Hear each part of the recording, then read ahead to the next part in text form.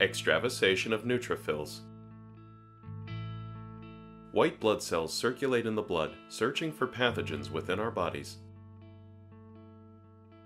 Neutrophils, the most abundant type of white blood cell, patrol the blood for signs of infection.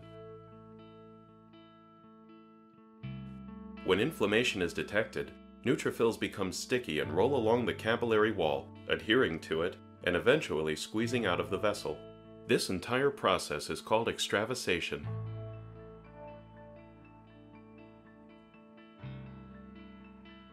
Extravasation begins when chemokines are released by immune cells at a site of injury or inflammation, activating the endothelial cells of nearby capillaries to express adhesion molecules.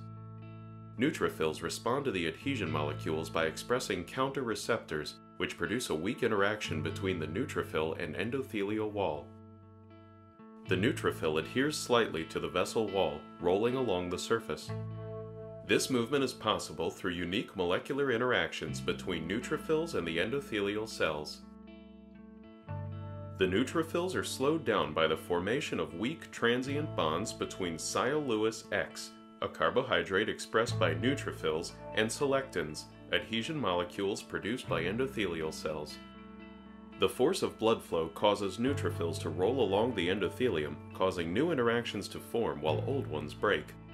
Eventually, tight binding occurs when integrins known as LFA1 on the neutrophils undergo a conformational change, causing them to bind firmly with endothelial adhesion molecules called ICAM1.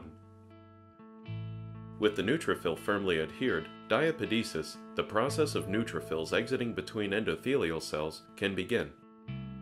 Once outside the blood vessel, the neutrophil migrates to the infection, guided by chemical signals.